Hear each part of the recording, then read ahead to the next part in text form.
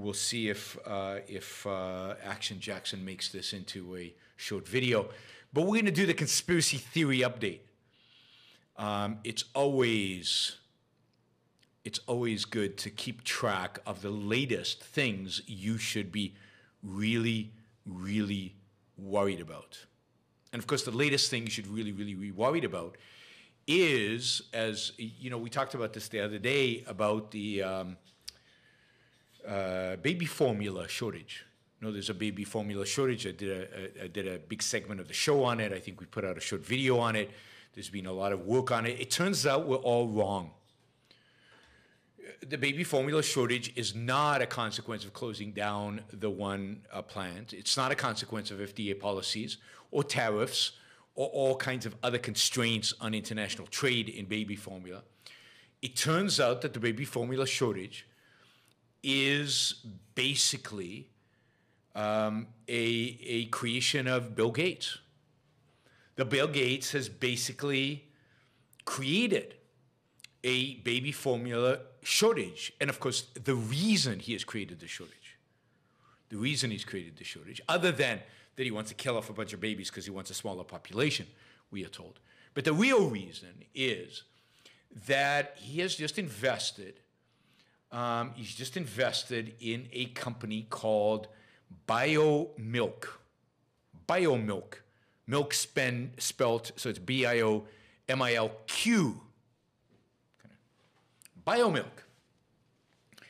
And BioMilq is working on reproducing human breast milk, uh, basically uh, using mammary cells. So basically, they're going to produce female human breast milk uh, from cells uh, through the cloning of the cells. I don't know what the technology is, but but this is this is it. And of course, Bill Gates doesn't want the competition involved in, um, in baby formula. So he is crushing, destroying, eviscerating the uh, baby formula uh, business so that he can then swoop in and basically replace all baby formula with his artificial, well, it's not really artificial, but it's kind of man made man-made is not artificial. I don't know, man-made breast milk, and uh, so it's all Bill Gates, and and this is this is a real thing. This is a real conspiracy theory that had to be debunked. Um, now there are lots of reasons why this is silly, uh, starting out by the fact that it, it's going to take at least three years until this is commercialized, maybe longer. It's a hugely risky investment. Bill Gates invested in a lot of startups. This is just one among many. Uh, and of course, I gave you all the reasons for the um, for the uh, formula shortage. And Bill Gates doesn't have that much power to kind of uh, completely destroy global supply chains, influence the FDA. But of course, I'm naive because really, Bill Gates plus the elders of Zion combined, combined, they have that kind of influence, and, and, and they can they can change the laws and and and change trade policy and change FDA policy and change all these things in order to benefit their one little company so that they can take over and monopolize the breast milk industry. I wouldn't be surprised if, as part of the vaccines, the Bill Gates vaccines, um, they're also going to suppress uh, uh, mothers' breast milk so that the, the mothers who would like to breastfeed can't, and they're going to have to buy milk from BioMilq. Anyway, that's what people spend their time doing is creating hysteria, panic, uh, stupidity about these kind of things. So uh, uh, truly unbelievable. But uh, there you have it. Uh, Bill Gates, in an effort to maximize the value of his investment, is creating the baby formula shortage. But that is not all, since we mentioned the elders of Zion. Oh, where did it go? There it is, my Twitter feed. Um, I, I go to Twitter today, as I do every day, and I look at uh, what is uh, trending, and I notice that the Rothschilds are trending. Rothschild, you know, the bankers, the Jewish, Jewish bankers, might I need to add? And I said, why the Rothschilds um, trending? So, so I go to um, I go to uh, I, go to Twitter and I see all this horrific stuff about the Rothschilds. We'll get to that in a minute. But what stimulated all? What got everybody talking about the Rothschilds? Well, it turns out that Elon Musk uh, tweeted something. Uh, this is what he tweeted, and and we'll, you know, so Elon Musk tweeted today, the 18th, you know, yesterday.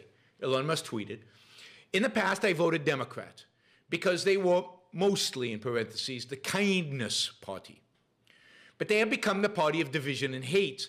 So I can no longer support them and will vote Republican. Now watch their dirty tricks campaign against me unfold. So somebody responds. That somebody's name is David Rothschild. And David Rothschild responds, rich white son of emerald mine, uh, mine owner who grew up in apartheid South Africa is the real victim in our society. Thoughts and prayers. So David Rothschild, I, I you know, I often encounter his tweets. He's a particular vicious idiot. Um, well, he's both vicious and an idiot. Um, he's an economist, which um, suggests that he's smart. So he's a real piece of work, this guy. I mean, really nasty. Uh, and always tweeting the dumbest things and most ignorant things. So he's an economist who's ignorant about economics, among many other things, which shouldn't surprise anybody. Anyway, uh, so he tweeted this horrible thing. It's stupid, right? Really, really stupid. So then a bunch of people write. I mean, a bunch of people all over the place, basically. A Rothschild complaining about other people's privileges. A joke that tells itself. So this is hysterical. A Rothschild. Rothschilds are super rich, right? They're the, this incredibly wealthy family because they go back to the like the, the 18th century bank uh, Jewish bankers who who were the most powerful bankers in Europe in the 19th century and maybe the 20th, and and incredibly rich family. So he's super privileged. So how could he make fun of of Elon Musk? But of course, it turns out that this particular David Rothschild uh, is, thank goodness, because it, it would have it would have destroyed my faith in genetics and in the Rothschild family and in their, their banking prowess, um, is not a member of that family. I, I don't know if David Rothschild is rich or poor. I have no idea. But he's not a member of the Rothschilds. But of course, that's automatically the assumption. Um, it's automatically the assumption if you have a family name of somebody rich, you are rich. Would people do that to, to just anybody's name or particularly the Rothschilds? Now, this was an opportunity for the world to come out uh, with, uh, you know, just the most vicious, horrible, stupid uh, stuff about the Rothschilds. Um, you know, so it turns out, you know, so just horrible, disgusting, um, anti-Semitic stuff. Um, you know, uh, uh, where does it all go? So, so we get, we get the Federal Reserve System is a parasitic Ponzi scheme. That's true, modeled on earlier Rothschild-dominated Bank of England. Really, Rothschild dominated the Bank of England? Proof of that. Never heard that one before. Um, Rothschilds are literally puppet masters, and according to this one guy, and this tweet keeps coming back in Twitter, they, uh, this was proven in, in court that they are the puppet masters. They are the elders of Zion. And then there's one saying that the Rothschilds patented a COVID 19 test in 2015, and they have a picture of the patent. Now, anybody with half a brain who reads this knows that that's not what the patent's about, and, and, and it's complete bullshit. And, uh, you know, if you want to know why it is, you can ask me. But uh, it, it just, just, of course, they're behind, they're behind the whole thing. And then, there's the one that says, oh, here it is. Um, they lied to us about World War I and the Spanish flu. It was not a flu, and it was not of Spanish origin. The Rockefeller and Rothschild families released the experimental virus that caused massive deaths. The ones who survived were those who refused to get vaccinated. So they caused the Spanish flu. They caused the, uh, the uh, uh COVID. Uh, they've made money off of both. Um, they, uh, you know, and then there's all the old stories about they caused all kinds of wars in Europe so they could make money off of them. They, they you know, unbelievable the amount of conspiracy theories, and they go back 200 years uh, in terms of the Rothschild conspiracy theories. So, um, and uh, it's it's it's amazing. It's both left and right. This is not a this is not any particular side.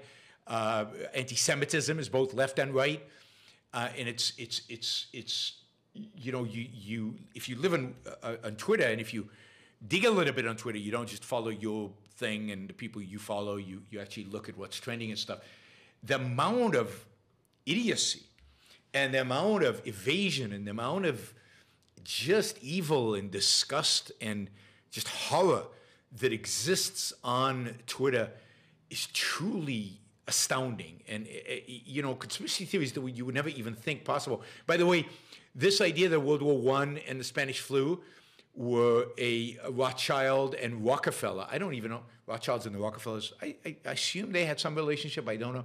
I thought J.P. Morgan was the banker to the to the Rockefellers, but maybe the Rothschilds. Anyway, that they unleashed it uh, through an experimental, you know, uh, vaccine, uh, or experimental something. This this is um, the link to this, right? The the article that this is referring to is on Lew Rockwell's website. It's lewrockwell.com. And of course, Lew Rockwell is the CEO of the Mises Institute.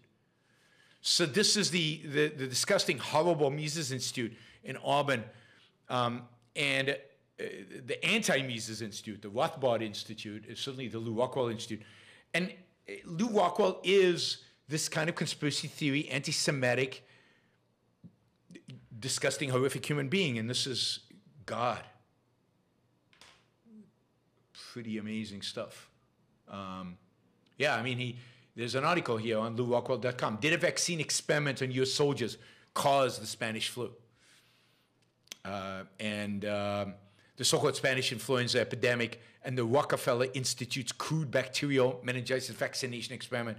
And of course, the, the, the, the, the Rothschilds funded all this. I mean, yep, supposedly credible people supposedly my allies, supposedly people, why you on? Why can't you just get along with them? They're all our friends. They're all we're all together in this. We're all trying to fight for liberty. Really? These people are fighting for liberty? Really? God. Thank God I've never had anything to do with those people. Yep. Thank you for listening or watching the Yaron Brook Show.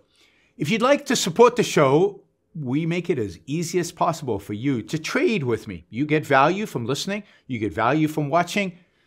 Show your appreciation. You can do that by going to yaronbrookshow.com slash support, by going to Patreon, Subscribestar, Locals, and just making a appropriate contribution uh, on any one of those uh, any one of those channels. Also, if you'd like to see the Yaron Brook Show grow, please consider sharing our content and, of course, subscribe press that little bell button right down there on YouTube so that you get an announcement when we go live. And for you, those of you who are already subscribers and those of you who are already supporters of the show, thank you. I very much appreciate it.